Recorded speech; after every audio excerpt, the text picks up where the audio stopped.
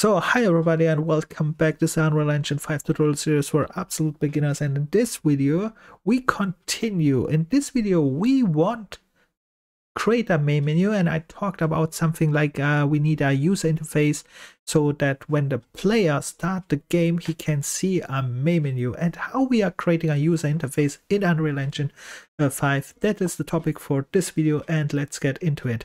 So first of all we jump here in our content drawer to our uh, to our folder and we create a new folder. Right click new folder and call it UI this is a short uh, cut and means user interface.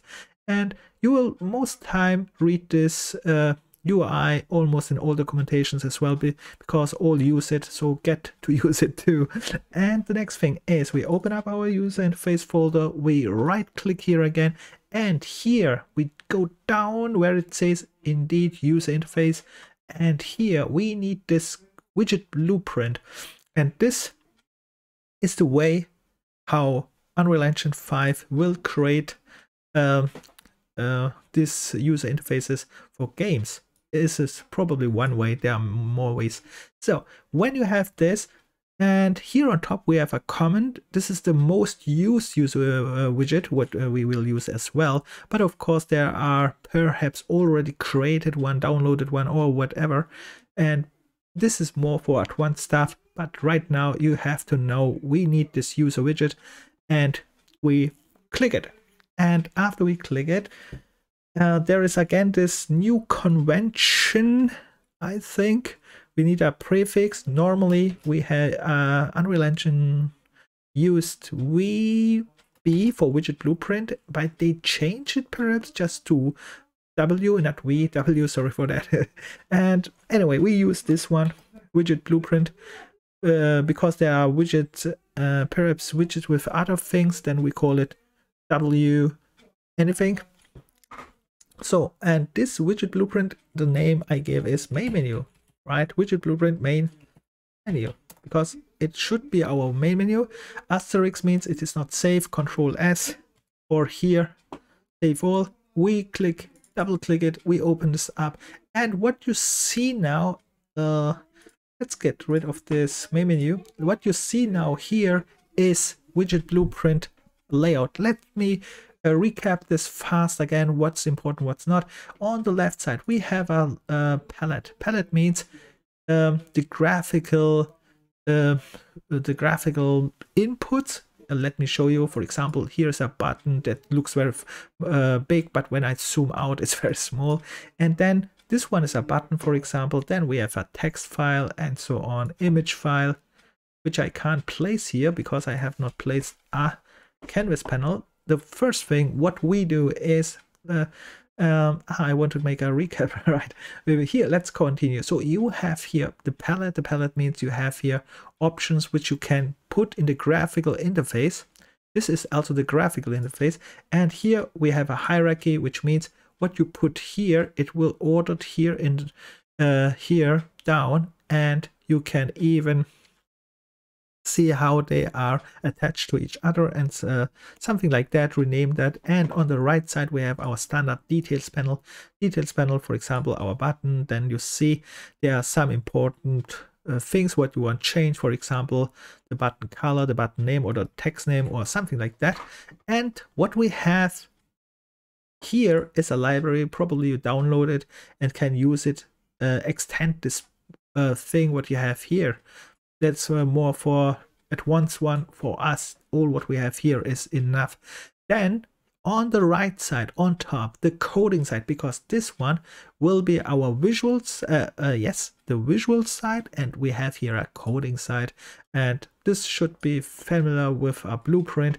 We have here on the left side again some nodes here details panel and then we will connect. It's similar but not exactly but let's go on. And in designer what we want to do is there are different ways. We make a very basic a very very basic uh, main menu. So how we start a very basic main menu? Very easily the first thing we can put is a canvas panel a panel panel. Here we go to the panels. This uh, you see we have here many, many panels. Later we will uh, use one of them or more of them, depends what uh, widget we make. But right now we need just a canvas panel and you see this canvas panel is just let's say the start page where you can put all that what I mentioned before, all the other stuff which is here in. It is just a panel. and very important here for uh, perhaps too, this right side we have here these arrows and here you can change the resolution. In my case, desktop, the standard resolution is probably this one, uh, 180p called, and I set this one to this. Uh, okay, then the next thing is um, I make a very basic uh, um, main menu. And how we make a very basic main menu? Very easy. We get first the button here. I said this is a button. Now you see it looks more like a button. Here, this uh, white balls, you can scale it, make it bigger. And of course, you can use the details panel for this one too. Here are, you uh, look here on the right side, when I change this one, for example, the values change.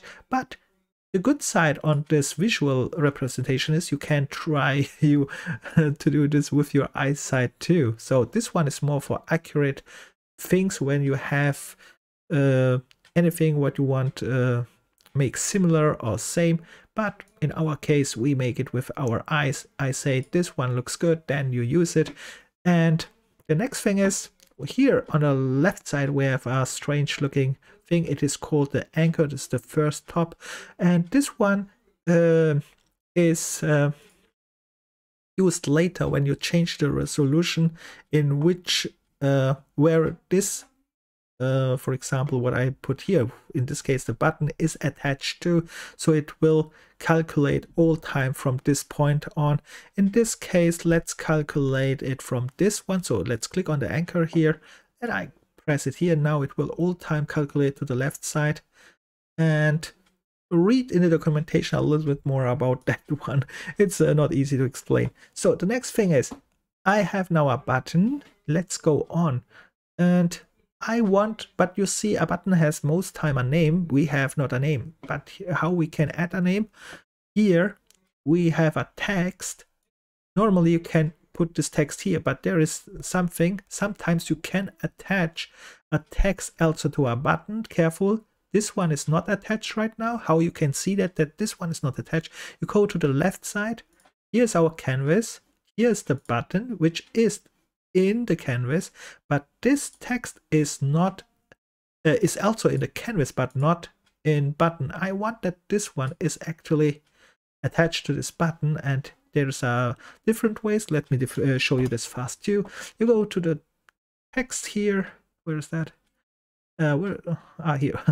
okay. And sometimes it snaps in. If it's not snap in, you can go here to the hierarchy and then select it and drag it to the button in. And now it's as well in. That is we have now a button with a text. This text block is just for naming. So i select this text here on the side go to the details panel and search the content. The content means the text the name. And in this case i call it very simple start. Yes. And what i'm going to do next is let's make this button perhaps a little bit bigger and you see this text is a little bit too small tool. We can go to the details panel, select the text and make this bigger as well.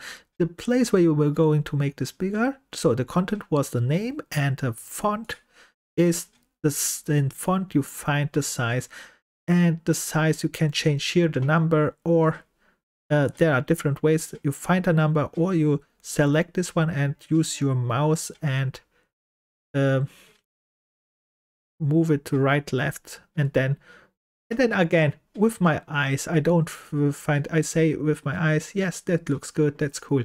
And we are almost finished but there is one more thing. This button looks a little bit boring. Let's click on the button here or here but uh, make sure that it's all time not the text selected this time the button. And then here is a little bit we go to the appearance here on the details panel we go here on style. This is more on hovered, but this is not what we are interested right now, but later for sure.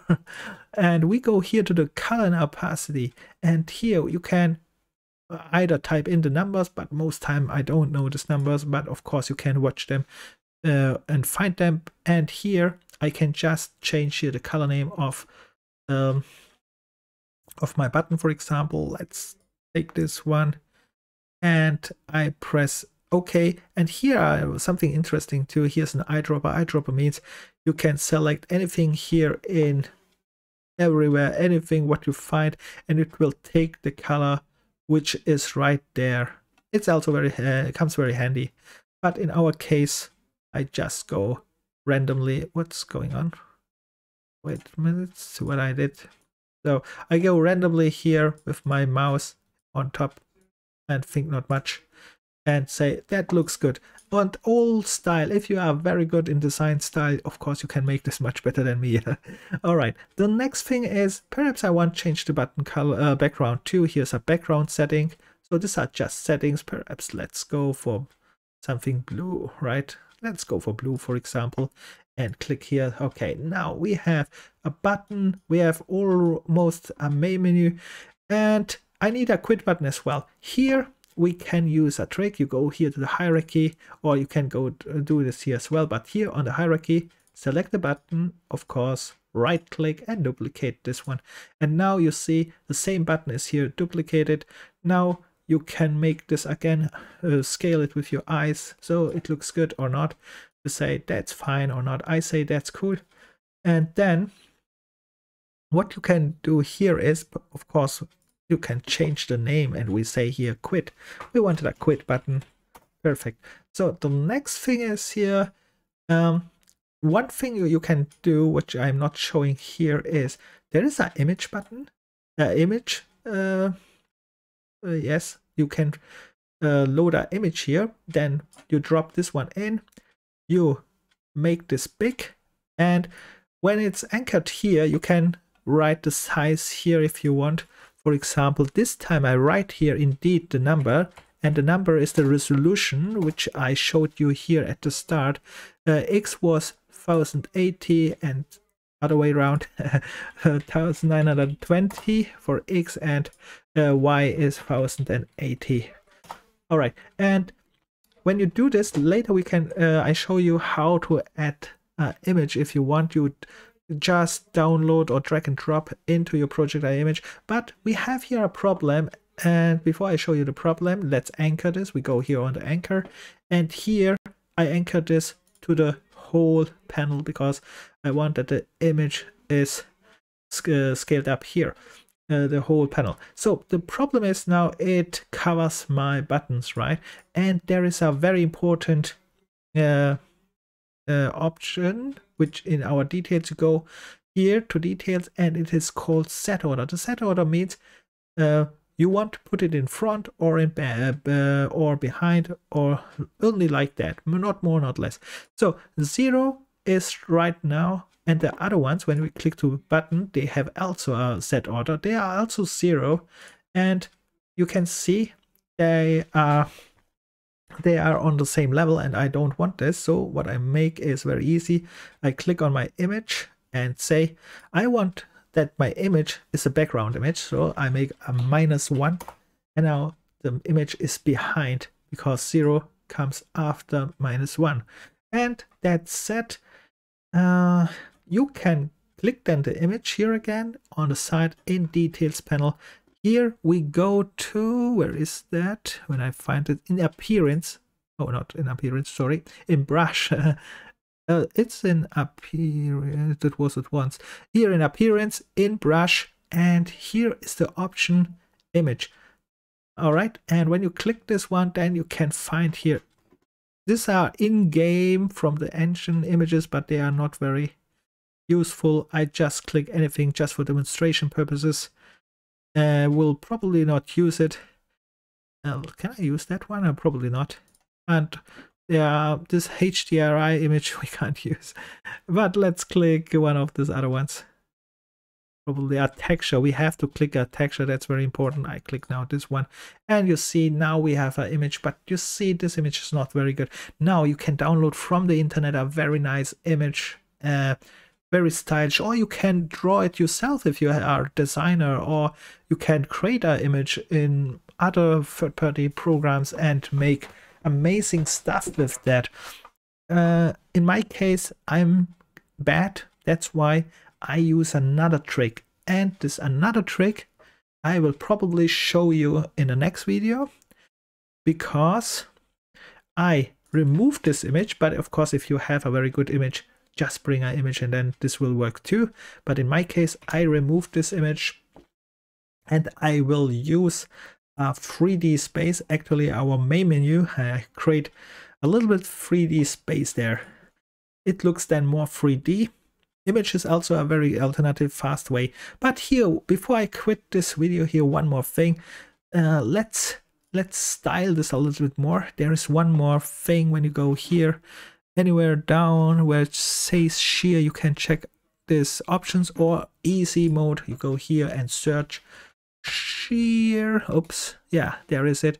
And shear, like it says, it is a transform and you can turn it a little bit here and this one is yeah 50 let's use 50 here too and otherwise minus 50 and what you see now is let's delete this search so I have all options available again.